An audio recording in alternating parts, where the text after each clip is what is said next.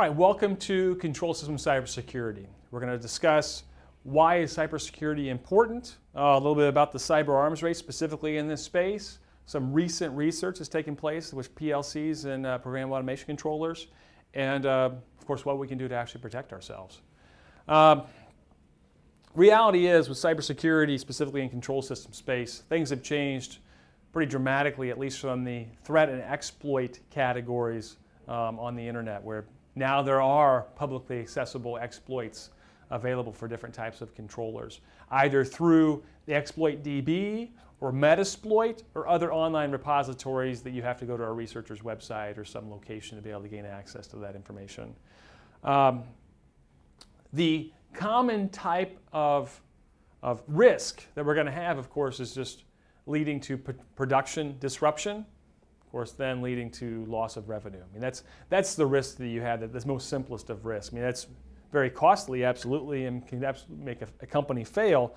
Uh, but the more disastrous risk is where we lead to that potential loss of life.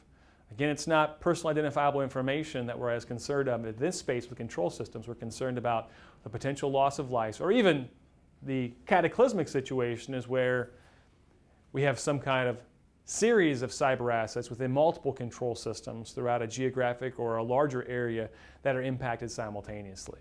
That could impact a nation state or some kind of productivity associated uh, with a region, something that maybe is critical employment for a region. That would be the worst case scenario. So what do we look at from a, a cyber arms space, arms race with control systems?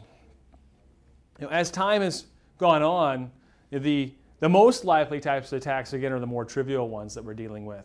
Uh, they include you know, simple eavesdropping on conversations. They include theft of intellectual property. They include theft of service. You know, something where uh, they also are, are, the more simple ones are just denial of service conditions. It's typically much easier to deny somebody access to an asset or make the asset less valuable to the owner than to actually take over the asset and make it be more valuable to the attacker. That's a much more difficult situation, as well as even leads to it being much easier to identify who the attacker is because you have to have constant communication with this asset that you're owning.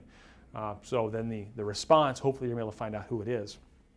As time has continued, though, we've moved to even where we now have with Stuxnet, you could look at it as almost like the rootkit for a Siemens controller as it propagated around throughout the environment. Um, to where we now even have protocol attacks being looked at where we're able to see, hey, generate this um, Allen Bradley PCCC communication to uh, um, a CIP communicating device, a common industrial protocol communicating device, and it can crash the CPU. Uh, protocol analysis from a vulnerable PLC point of view there has been quite a bit performed, but there's not a lot of public information that's out there. A lot of it has been maintained as private. What has been publicly announced has happened, the big events have been in 2008 and 2011 and here early in, in 2012. The one in 2008 didn't get a lot of fanfare, uh, but it's one that was very important in Black Hat 2008 when Jason Larsen gave a presentation entitled Breakage. Um, nobody has really gone to that, that level of detail in that presentation since that time uh, where it discussed what about, you know, the example being, what if you could look at the logic of an environment, find specifically the master stop conditions that are there, and then look at how you can create those conditions. But if you can find out, hey, what if these, it, it runs three pumps, only one's supposed to be active at a given time, what if we run all three at the same time? What if we can find a way to do that? What if we can find a way to reprogram the environment to support that? You know, what if we can, in a combination standpoint, address the logic change in and also modify some of the safety systems that are in place? Um, so you know, that's one of many examples that you get into. Another one could just be you know, the, the speed, right, the RPM of a motor. What if we could have it exceed its thresholds? What if we can then simultaneously, again, modify the safety system and the control system? Uh, so that was back in 2008 that that was discussed. I highly recommend you take a look at that presentation there at Black Hat uh, by Jason Larsen entitled Breakage. In mid 2011 at Black Hat once again, uh, Dillon Beresford released a presentation focusing on Siemens uh, S7 controller and some of the exploits that you could go after against it in rewriting the ladder logic of that controller as well as a hard-coded username and password that was within the controller and at the same time even some uh, what was I believe, some dancing monkey web pages that were actually on the controller itself. Um, that moves us up to earlier in 2012 when Digital Bond and Project Basecamp came out with, you know, it was, it was several researchers worked together and they analyzed controllers from Allen Bradley, from Schneider Electric, from GE, from SEL, uh, and from Koyo, and they then put in a matrix showing you whether it was firmware, backdoors, or fuzzing, or web vulnerabilities, which of the vendors have what type of vulnerabilities. And nobody came out successful in this, really. Uh, the hope was the success story would be that this would be labeled, uh, and, and, per uh, Digital Bonds uh, speaker themselves, be labeled a Firesheep moment, specifically in industrial control system space. And if you're not familiar with what Firesheep is, that's a uh, attack program specifically targeting um, webbed HTML-based communications, and it's a little plugin that works inside Firefox. But nonetheless, it still seems to be that it wasn't necessarily that Firesheep moment. We still need a lot more to be addressed in this space. Uh, these vulnerabilities are common from a protocol perspective. The hardware itself does need to be a bit more ruggedized in being able to accept multiple communications without uh, falling over. Or, again, you just realize that that's how it's going to be and you build the right security uh, program around the assets that are vulnerable to those types of attacks. And that's exactly what we're going to get into here. Because you have to run your facility, you have to run your environment. You don't have a choice to say, okay, well, fine, we're just vulnerable, we'll let it go. As long as you're able to get the budget associated with what you need in your environment, then you can put in the right protective backdoors. The question is, can you actually develop the business case to then say what kind of budget you need to then put in the right security controls? So that's where we get into, you know, what can we actually do to protect ourselves? And the first thing you have to do is actually identify your cyber assets. Identify what is connected within your environment. And then from there, identify your most critical ones. What are the, what are the ones that are necessary for emergency and operating conditions that actually provide real-time or near real-time control in the environment?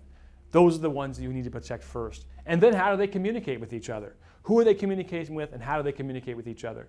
Your control system environment should be very narrow, should be very focused, should be much smaller to deal with than your, than your actual uh, business networks that uh, traditionally where it's just complete chaos and trying to figure out how things are configured and controlled.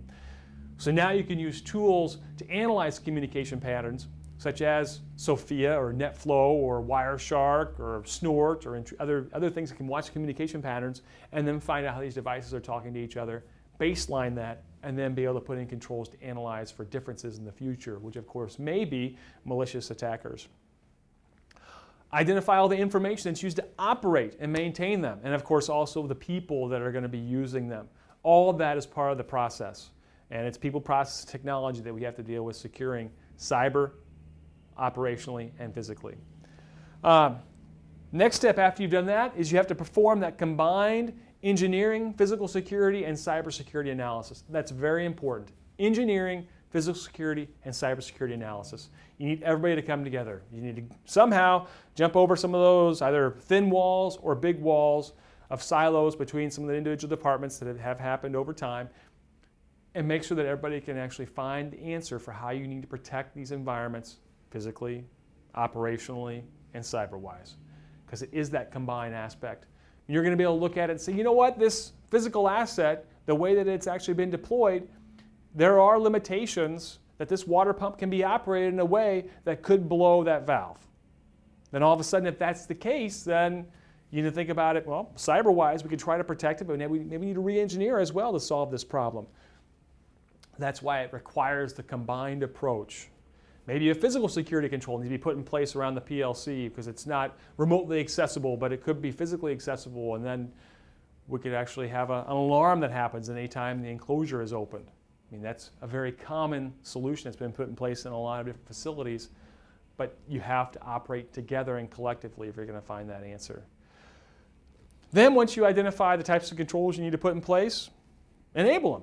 Enable the protective controls, monitor them for their effectiveness, monitor them for how they're actually operating so you can get the results from your security controls, and then be able to respond if something happened that's with malicious intent. Or maybe even not malicious intent, you have to go and investigate to see why something has even happened.